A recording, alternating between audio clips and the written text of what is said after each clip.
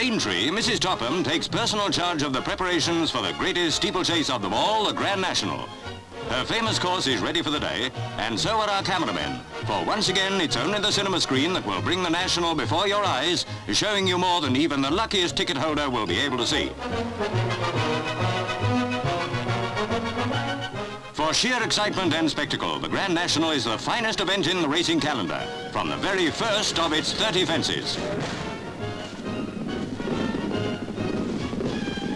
Remember how last year, from the roof of a moving car, we took you right alongside the field as they thundered round the course? A view of the race no one had ever attempted before. We'll be doing it again this year, so whatever unexpected thrills may turn up, and there are bound to be plenty, you'll be right on the spot to see it.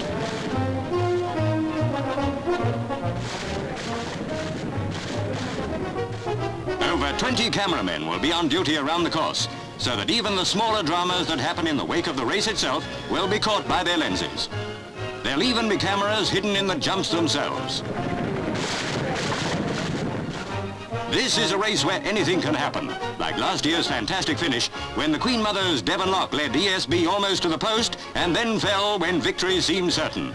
Whatever this year holds in store, only your cinema will bring it to you.